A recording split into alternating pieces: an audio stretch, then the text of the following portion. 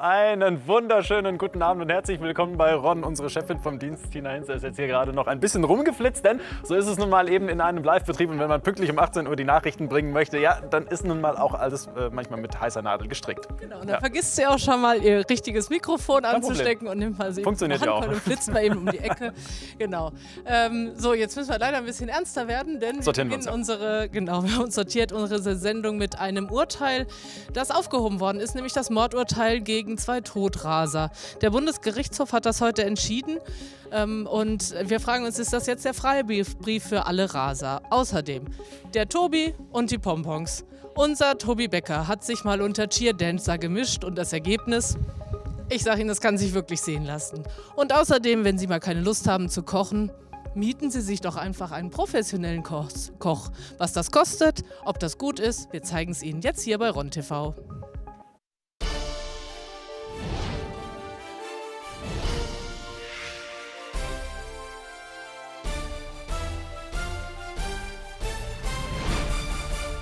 Ja, mit Spannung haben viele Augen nach Karlsruhe heute geschaut, eben auch unsere. Denn der Bundesgerichtshof sollte darüber entscheiden, ob das Urteil ähm, gegen die sogenannten Raser vom Kudamm aufgehoben wird oder nicht. Die hatten ja einen unbeteiligten Menschen getötet und das Berliner Landgericht hatte sie wegen äh, des Mordes verurteilt. Nun allerdings hob der Bundesgerichtshof dieses Urteil auf. Natalia Höppner mit den Hintergründen. Vor zwei Jahren, im Februar 2016, stirbt Michael W. als Unbeteiligter bei einem illegalen Autorennen. Die Raser sitzen in Haft, bekamen lebenslang. Heute nun der Rückschlag für den Sohn des Opfers. Das Urteil wegen Mordes, es wurde gekippt. Nach der Verhandlung habe ich irgendwo insgeheim mit dem Urteilsspruch gerechnet, erwartet, dass es auch natürlich so kommen kann. Aber im Großen und Ganzen Drama. Mit 170 km/h rasten Hamitar und Marvin N. durch die Stadt. Sie missachteten elf rote Ampeln und rammten dabei den Geländewagen des 69-Jährigen. Viele bezeichnen es vielleicht als Unfall, ich bezeichne es als, als Horrorszenario. Es wurde von den Zeugen auch beschrieben, auch von den Polizisten, die vor Ort waren. Das war wie ein Trümmerfeld. Die Berliner Richter sahen dies ähnlich und verurteilten die beiden Männer wegen Mordes. Sie begründeten ihr Urteil damals so, dass die beiden Todraser bei dem illegalen Wettrennen mit bedingtem Vorsatz handelten und den Tod anderer billigend in Kauf nahmen. Als Mordwerkzeug dienten ihnen demnach ihre bei dem hohen Tempo unkontrollierbaren PS-starken Autos. Ein Urteil, mit dem die Todraser nicht leben wollten. Sie legten Revision ein. Mit Erfolg. Die höchsten deutschen Strafrichter gaben ihnen heute Recht und erklärten das bundesweit erste Mordurteil gegen die Berliner Raser für unzulässig. Sie sehen den Tötungsvorsatz als nicht erfüllt. Der Fall wird nun neu verhandelt werden müssen von einer anderen Kammer des Gerichts. Das heißt, auch für Maximilian ist der Fall noch nicht abgeschlossen. Ich habe gehofft, endlich ist es vorbei. Endlich sind die Qualen vorbei. Alle haben auf das Urteil gewartet. Bang, weg. Es wird noch dauern, bis Maximilian ein Urteil zu hören bekommt, mit dem auch er den Fall für sich abschließen kann. Die beiden Berliner Raser allerdings können mit einer milderen Strafe hoffen. Und dieses Urteil, das wollen wir noch ein bisschen einordnen mit Dr. Frank Zander. Er ist mal wieder bei uns und äh, mal überspitzt gefragt für Sie als äh, Anwalt für Strafrecht. Ist das nun ein Freibrief für Raser? Nein, auf gar keinen Fall ein Freibrief für Raser, zumal ja der Gesetzgeber nach diesem Berliner Raserfall entschieden reagiert hat. Er hat den neuen Paragraphen 315d ins Strafgesetzbuch aufgenommen, der nun explizit das Rasen und äh, die, die Wettrennen, illegale Wettrennen unter Strafe stellt. Und in Fällen wie jetzt in Berlin wäre es jetzt so, dass die Täter bis zu zehn Jahre ins Gefängnis müssen. Also das wäre auch das Äußerste, was man am Strafmaß äh, festsetzen kann, wenn man nicht ähm, das wäre jetzt, Mordes verurteilt. Das wäre jetzt das, das Äußerste. Äh, für die Berliner Raser gilt äh, das alte Gesetz noch. Da wird es wahrscheinlich eine fahrlässige Tötung geben. Auf die fahrlässige Tötung gilt eine Freistrafe von bis zu fünf Jahren. Und äh, in diesem Rahmen kann sich das Berliner Landgericht nunmehr bewegen, denn die äh, Entscheidung des Bundesgerichtshofs war eine schallende Ohrfeige für das Landgericht Berlin. Jetzt geht dieser Prozess wieder zurück nach Berlin. Ähm, könnte dann auch da wieder das Urteil Mord fallen?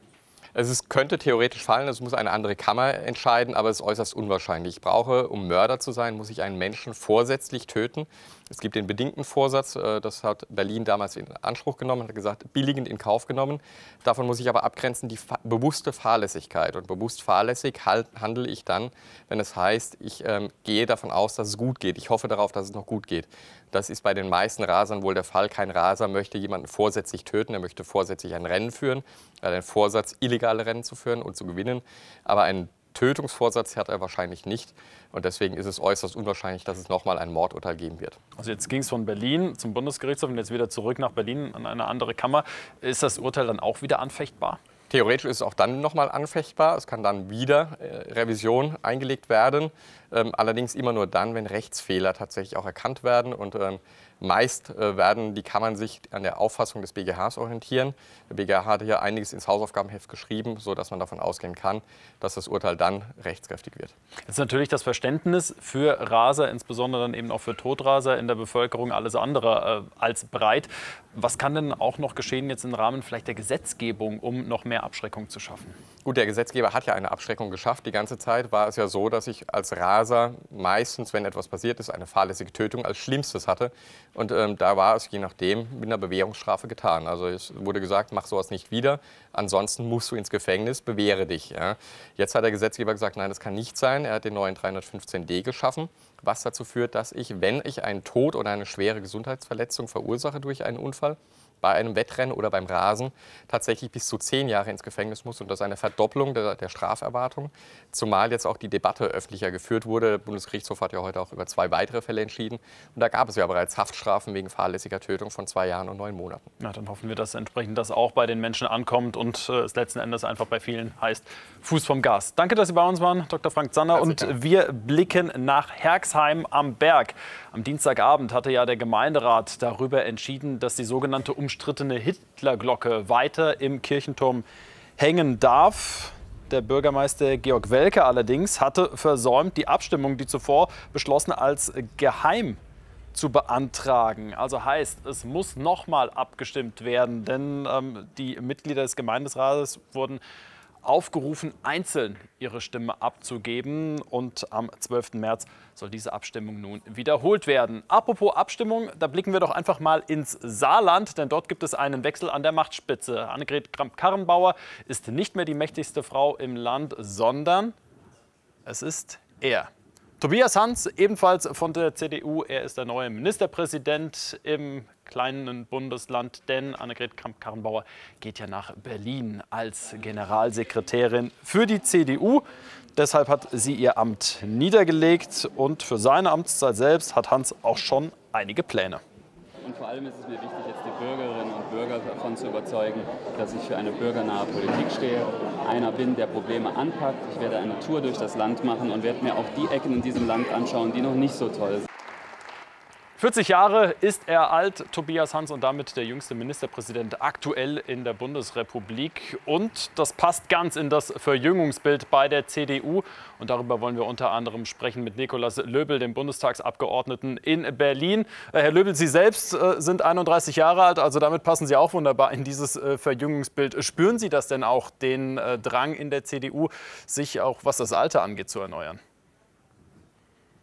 Ja, wir sind mitten in einem Erneuerungsprozess äh, innerhalb der CDU-CSU hier in Berlin. Wenn Sie sehen, dass äh, die bisherigen CDU-Minister hatten ein Durchschnittsalter von über 63.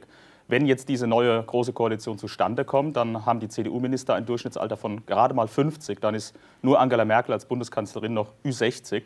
Ich glaube, das ist ein starkes Zeichen der CDU für eine Erneuerung, für eine Verjüngung im Kabinett. Aber ist denn Angela Merkel dann mit 63 Jahren überhaupt das passende Aushängeschild? Ja, ich glaube, es geht darum, dass wir jetzt beides tun, dass wir auf Erfahrung setzen, äh, dass wir nicht auf Einzelpersonen setzen, sondern Annegret Kramp-Karrenbauer hat gesagt, der Star ist die Mannschaft. Äh, und darum geht es jetzt. Und der Mannschaftskapitän ist Angela Merkel. Aber äh, gucken Sie nach, äh, ins Saarland mit Tobias Hans, 40 Jahre Ministerpräsident. Daniel Günther, Schleswig-Holstein, äh, 44 Jahre Ministerpräsident. Oder Jens Spahn, äh, unser Hoffnungsträger als neuer Gesundheitsminister, 37. Ich glaube, das ist eine gute Mannschaftsaufstellung mit Angela Merkel an der Spitze. Es sind ja aktuell sehr turbulente Zeiten, eben auch in Berlin mit der Regierungsfindung. Also es steuert jetzt alles auf die Große Koalition hin. Wie konnten Sie sich denn auch selbst jetzt aus Sicht der Metropolregion für Mannheim dort einbringen? Ja, wir warten natürlich alle gespannt auf das Ergebnis des Mitgliederentscheids und wir hoffen natürlich alle, und das kann man hier in Berlin spüren, aber auch in ganz Deutschland, dass die Menschen darauf hoffen, dass die SPD vernünftig entscheidet, damit äh, Deutschland endlich eine stabile Regierung bekommt. Das heißt, Daumen drücken für diese Entscheidung. Ähm, und äh, die letzten Monate waren natürlich aufreibend. Und man merkt auch, dass die Menschen einfach erwarten, dass wir jetzt hier im Deutschen Bundestag einfach unsere Arbeit aufnehmen. Äh, ich bin in drei Ausschüssen nun tätig. Außen, wirtschaftliche Zusammenarbeit und Entwicklung und Kultur und Medien. Und die Arbeit hat jetzt eigentlich so richtig mit den Ausschüssen äh, in den letzten zwei Wochen hier in Berlin begonnen, äh, weil die Welt wartet nicht auf uns. Und wir haben uns jetzt vier Monate Zeit gelassen, zu versuchen, eine Regierung zustande zu bekommen. An der Union hat es ja nicht gelegen. Wir wollten regieren schon von Beginn an, nur die anderen tun sich damit ein bisschen schwer. Ähm, aber ich bin fleißig unterwegs in Mannheim und in Berlin und da gibt es ja für Mannheim einige Themen, ähm, ob äh, Sanierungsvorhaben, ob das Thema ICE-Neubaustrecke. Da gibt es einiges zu tun. Da bin ich schon mitten an der Arbeit hier in Berlin für Mannheim. Also ein buntes Treiben in der Politik in Mannheim, aber insbesondere für Sie natürlich auch in Berlin. Herzlichen Dank für das Gespräch, Nikolaus Löbel. Beste Grüße nach Berlin und von diesem, wie gesagt, bunten Treiben dort gehen wir zum bunten Treiben in der SAP-Arena. Das Musical Afrika, Afrika hatte dort Halt gemacht und es gab natürlich jede Menge Akrobatik und viele Highlights, die auch, jetzt aufgemerkt, einem Ludwigshafener König sehr gefallen haben. Eines der Highlights ist Dumbo, ein Elefant. Kein echter, aber trotzdem lebendig, dank zweier Akrobaten, die ihn auf der Bühne zum Leben erwecken. Einer davon Benjamin Lungwa. Der 30-Jährige zeigt uns backstage, wie er sozusagen zum Tier wird und verrät, was ihm daran so gut gefällt. In Deutschland ist es kalt, deshalb ist es toll, wenn ich reinsteige. Wie warmes Wetter. Und warm ums Herz wird es auch Chippa Spanza, dem Ehrengast der Show. Der 69-Jährige hat seine Wurzeln in Ghana und dort regiert er sogar ein afrikanisches Volk als dessen König, von Ludwigshafen aus. Die Show in der Region ist für ihn etwas ganz Besonderes. Ah ja, das ist schön, dass sowas in Mannheim kommt ja, und ganz Europa kommt. Ja, das freut mich. Ja, ich habe mich gewundert, ich wohne in Ludwigshafen, ich bin alte Kurpfälzer und äh, sowas, wo ich lebe, es freut, es freut mich. Es freut mich, ehrlich. Neben traditionellen Tänzen und Rhythmen gibt es aber auch moderne Showeinlagen, performt von 70 Künstlern aus über 10 afrikanischen Nationen. Und auch für die Darsteller ist ausgerechnet ihr Auftritt in Mannheim eine echte Sensation. Denn ein Stammesoberhaupt aus Ghana treffen auch sie nicht alle Tage.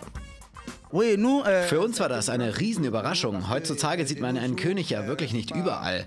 Tolle Sache, damit haben wir wirklich nicht gerechnet. Aber nicht nur der König und die Darsteller hatten einen gelungenen Abend, auch die Zuschauer in der Mannheimer SAP-Arena waren begeistert, vor allem von der großen Bandbreite der Show.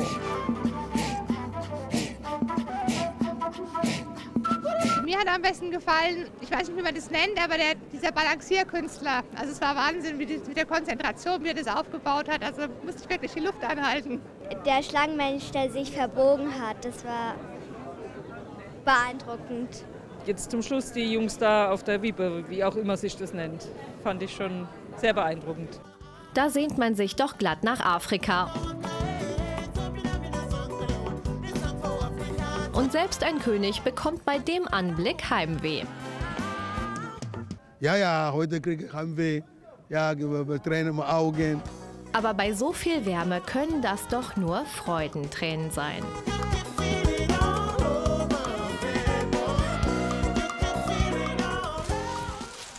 Und mit Tanz geht es bei uns weiter, denn es geht um Sie, Sie, Sie, Sie und Sie und ihn.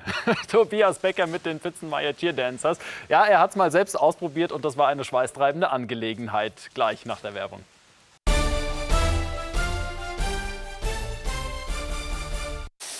Die MLP Academics Heidelberg haben so schnell wie noch nie zuvor die Playoffs erreicht. Und es liegt unter anderem, würde ich mal einfach so behaupten, eben an diesen Mädels, an den Cheerdancern vom, äh, von Fitzmeier. Fitzmeier Cheerdancers, die unter anderem dort ordentlich für Stimmung sorgen, aber auch äh, für die Wannheim Longhorns und eben auch auf vielen Feiern. Tja, das ist das eine. Klar, viel, viel, Rascheln, viel Bild, aber dass das richtig schweißtreibende Arbeit ist, davon hat sich Tobias Becker überzeugen können. Das sind die Pfitzenmeier Cheerdancers. Und das bin ich in der Höhle der Löwinnen. Grund zur Sorge? Null. Die Mädels sind alle ganz lieb. Dürfen das auch Jungs sein eigentlich? Oder bin ich jetzt so ein bisschen die Ausnahme? Eine absolute Ausnahme. Warum das so ist, zeige ich als Paradebeispiel im Training. Los geht's mit lockerem Aufwärmen. Wenn nicht, mach nur die Füße. Ist okay. Naja, das kann nur besser werden. Du bist falsch rum, aber ist okay. Ich mach so mit, ja. So. Ja, genau. Bei mir geht eher der Bauch raus. Das ist dein Problem. Beim Cheerdance geht's ja vor allem um das Tanzen. Die wahrscheinlich grundlegendste Choreografie ist die Kickline. Wenige Minuten für mich schweißtreibendes Training, später dann meine erste richtige Choreo. Sieht schon alles ziemlich schwer aus. Ist es auch, aber Ich habe hier echt Beispiele, die sie sind am Anfang überhaupt nicht mitgekommen. Kann sich da mal bitte einer melden? Ja. Wer ist am Anfang überhaupt nicht mitgekommen? Wer ist am Anfang gar nicht mitgekommen? Sophia, die Kim, die Melanie. Also Gott sei Dank, das beruhigt mich jetzt auch irgendwie. die sind, das war am Anfang schwer, glaube ich, kann jeder bestätigen, aber man kommt rein und man wird ähm, ja, immer besser und kriegt auch die Schritte dann viel, viel schneller drauf. zweimal die Woche trainieren die Cheerdancers plus Auftritte und ab und an Sondertraining. Es kommt auf das Pensum an und auf den Schwierigkeitsgrad der Choreografien. Oftmals brauchen sie so eine halbe Stunde für eine Choreografie und lernen teilweise bis zu fünf Stück am Abend. Soweit so gut also. Training hat Spaß gemacht. Fertig. Äh, äh, nix da. Denn das ganze Training, das muss sich ja auch lohnen. Danke, Mädels. Also am Mittwoch bist du unser Ricky Martin und ähm, du kennst das Lied Cup of Life? Ja. Genau, da hast du am Anfang dein Solo mit Do you really want it? Pose, Pose, Pose, Pose. Ja? Solo. Zwei Stunden Training, tagelang zu Hause proben und viele Nachfragen später war es dann soweit. Die anderen grinsen schon, die stehen nämlich da hinten. Guck da. Die lachen schon. Freuen sich. Drei Sekunden habe ich noch. Drei Sekunden bis 30 Sekunden Hölle. Die Pfitzemeier Cheerdancer. Was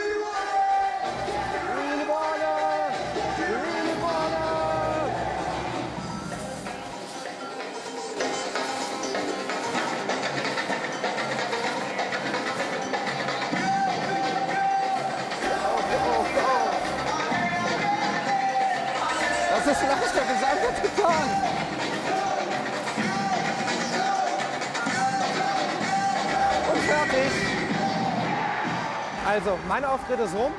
Die Mädels machen das noch weiter. Ich hatte jetzt 30 Sekunden. Ich habe fünf Tage geübt und ich glaube, ich habe es nicht richtig gemacht. Meine Beine wollten nicht so ganz, der Kopf war ein bisschen anders.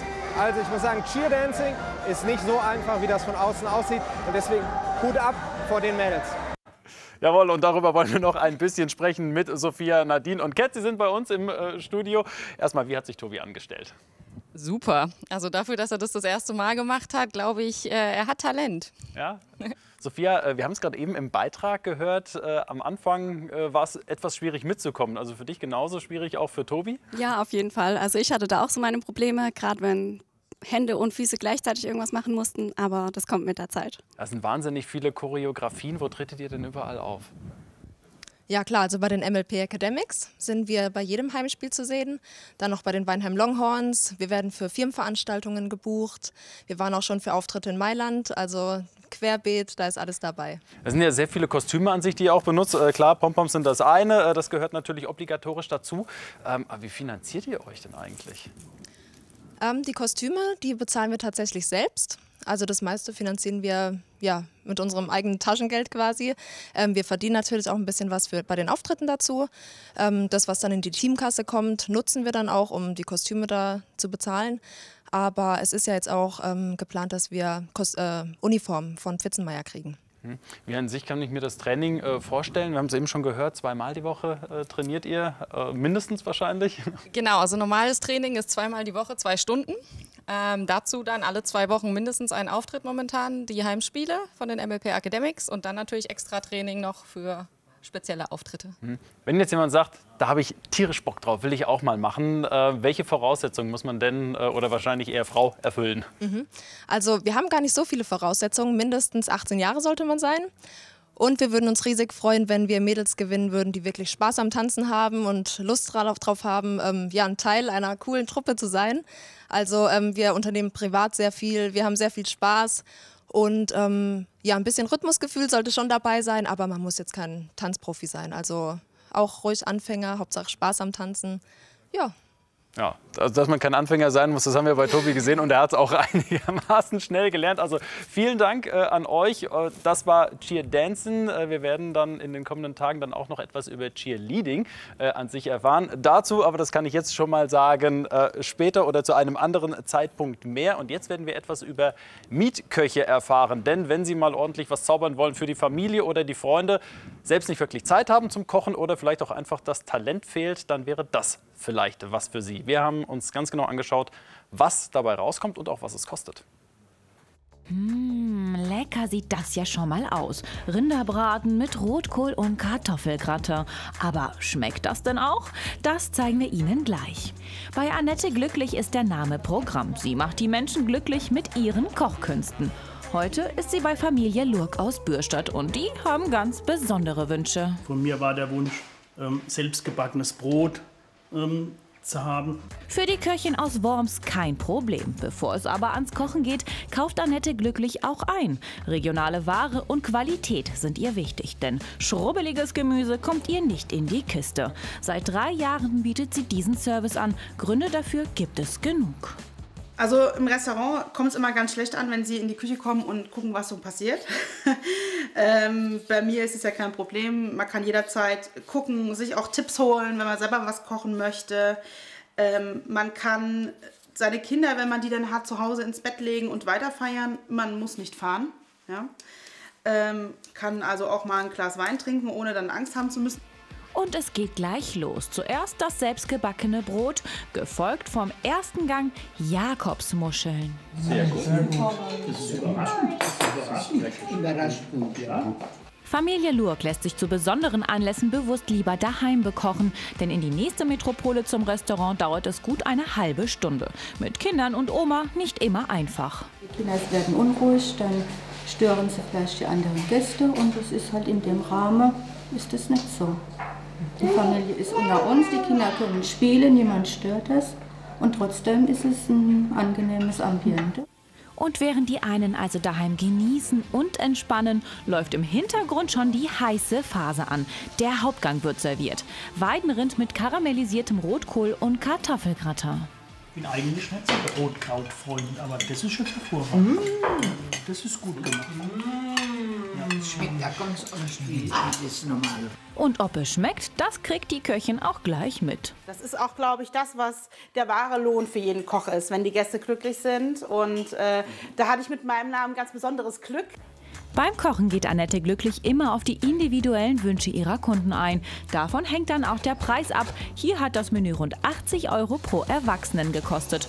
Dafür bringt sie alles mit, was sie zum Kochen braucht und gespült wird hinterher auch noch.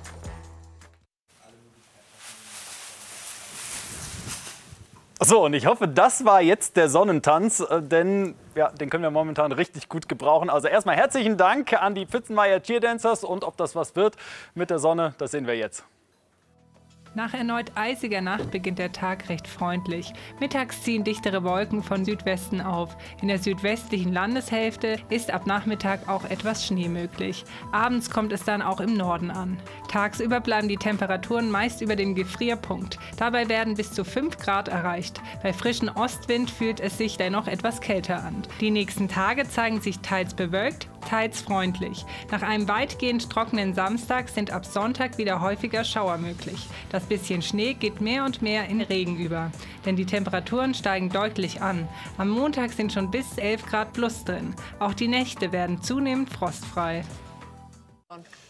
So, also das geht ja einigermaßen wieder mit den, äh, zumindest mit den Temperaturen. Jetzt hoffe ich auch wirklich, dass es mit den Niederschlägen dann auch äh, aufhört. Sonne äh, aus den vergangenen Tagen und steigende Temperaturen, dann wird das doch was mit dem Frühling. Heute ja meteorologischer Frühlingsanfang, ole, ole, ole. Aber hoffen wir auch nur, dass Genau. die Natur nachzieht, dass meine, das auch checkt. meine Luft wieder gefunden. von Ja, richtig. Genau, falls, falls Sie äh, etwas später zugeschaltet haben, Tina war heute Morgen, noch, äh, heute Morgen äh, am Anfang der Sendung noch ordentlich hier am Rumrennen. Aber Ja, ich hatte wieder. mein Mikro vergessen und das musste ich mal eben ein anderes Mikro holen, dann bin ich ein bisschen losgesprintet. Tina, das hast du wahnsinnig gut gemacht. Jetzt müssen wir ein bisschen aufpassen, dass er nicht ausrutscht, aber er macht das natürlich aus einem bestimmten Nee. Grund. Vielen Dank. Ja, ger, ger, gern geschehen. Ich finde auch, ich finde, dass wir gut zusammenarbeiten. Ich Ja. freue mich jeden Und- und Tag, wenn bist- ich dich sehe. Du bist die beste Chefin vom Dienst. die ich Äh. mir heute habe vorstellen können. Zumindest. Ja, also klar, hat seinen Grund, denn äh, der 1. März, das ist auch der Tag der Komplimente. Und wenn Sie vielleicht jemanden haben, dem Sie mal ein Kompliment machen wollen, heute ist doch der beste Anlass dafür, damit zu beginnen oder mal wieder eins zu machen. Das ist doch immer schön, man freut sich. Finde aber trotzdem, das sollte man genauso halten wie mit dem äh, Valentinstag. Ja, das hat man irgendwie einmal im Jahr, aber auch die anderen 364 Tage, die sind dazu da, seinen Liebsten äh, die Liebe zu zeigen und natürlich auch den Menschen, äh, die man mag und die was Gutes leisten, auch einfach mal ein Kompliment zu unterbreiten. Also nehmen Sie das gerne mit und äh, wenn wir gleich hier mit der Sendung fertig sind, schauen Sie sich doch mal um, wem können Sie heute noch ein Kompliment machen. Genau. Morgen machen sich sozusagen zwei unserer Kollegen gegenseitig Komplimente. Morgen haben wir einen Veranstaltungstipp. Battle. Oh Gott, ein kleiner Kampf. Genau, ähm, Natalia Höppner und Jonas Himmel stellen Ihnen morgen die besten Tipps fürs Wochenende vor. Seien Sie gespannt, das ist wirklich sehenswert. Genau. Und wir freuen uns drauf und freuen uns auf Sie, die besten Zuschauer hier bei Ron. Tschüss. Bis dann, ciao.